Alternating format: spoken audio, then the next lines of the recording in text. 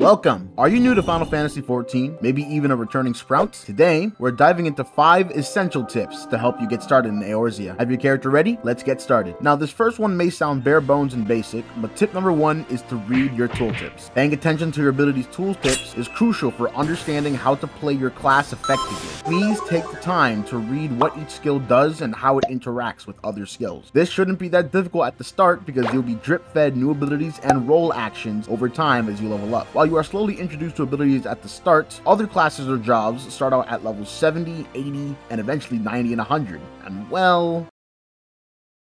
Oh my goodness!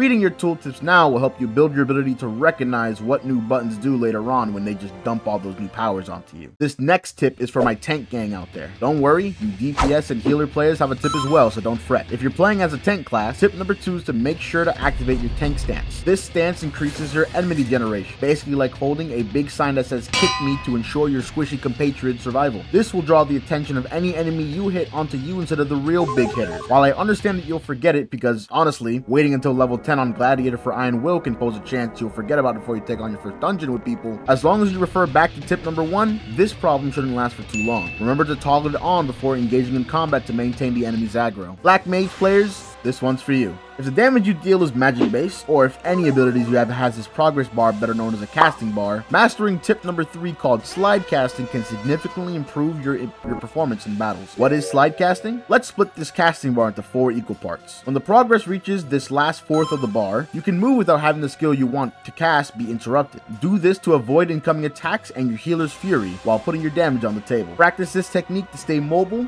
and avoid damage without sacrificing your DPS. As a healer, your job is plentiful. You gotta heal when your team is low, you gotta deal damage when you aren't healing, and you gotta make sure you don't lose this bugger right here to make sure that they don't kick the bucket to prevent this. If you click System, Keybind, and scroll down to tip number 4 called Set Focus Target, you can then target your tank and make them your focus. Now you have a keybind that can immediately jump to your tank so you don't have to search through mounds of polygons or go up against the party list to target heal your tank. The best part, when you're done, you can simply press tab and go right back to dealing damage. This allows for better situational awareness and decision making during fights. I hope you've been practicing your ABCs. Last but not least, tip number 5 is to always be casting. This sort of tip applies to all roles in Final Fantasy XIV. Maximizing your uptime on abilities is crucial for maintaining damage output. Sometimes a dungeon queue can drag on, and may God save your soul if you're queuing as a DPS. Avoid standing idle during fights and keep that damage hose flowing for maximum effectiveness. The first reason may seem a little self-serving, as you might be trying to get back to the MSQ, or someone else wants a specific loot from an instance, but the other reason comes from the fact alone that later on, some bosses will have an enrage mechanic that will wipe the whole party if you guys are taking too long or aren't dealing enough damage. If you remember to always be casting, even while avoiding the boss's attacks, you'll be smooth sailing on your way through the MSQ. Each role has a job to do in Final Fantasy XIV. These five essential tips to help players get on their feet when starting off or returning will help you get a starting idea of what it's like to play the other roles if you want to try them. Remember to read your tooltip, use your tank stance, master slide casting, set a focus target keybind, and always be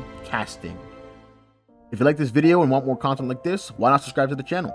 If you are a new player coming across this video, welcome, genuinely. Leave a comment down below about what got you into the game, or just leave your opinion down below, so I may better improve my videos. Oh, and secret tip number 6, make your character on the Brynhildr server in the Crystal Data Center. That way I can play with you and help you with however, however I can. See you next time.